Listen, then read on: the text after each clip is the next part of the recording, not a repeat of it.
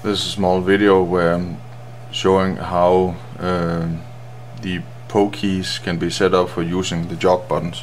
And right now I've set up the Y plus jog button uh, differently from the Y minus button.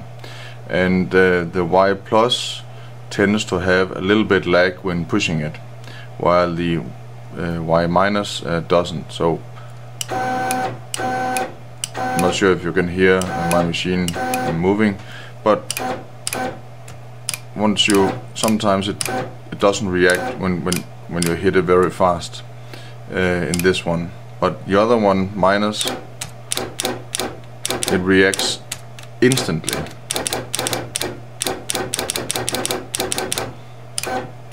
Where this one is, is tend to be lagging and, and doesn't really, it's quite sluggish. So if you go into uh, the settings of the PoKeys, I'm not sure, if, hope you can see it on the screen.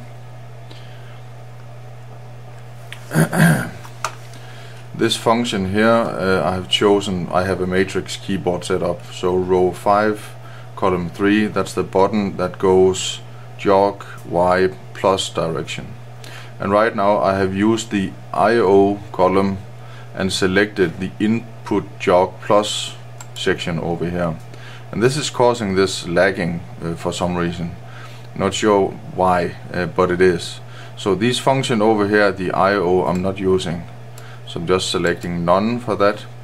And for the button uh, column I choose these uh, OEM codes and these uh, these reacts instantly. So 309 uh, is the Y plus uh, button 309 push to jog Y and select that one. And the other jog buttons uh, is also selected on on this uh, button column. Okay? And then it updates uh, and then it should be reacting instantly.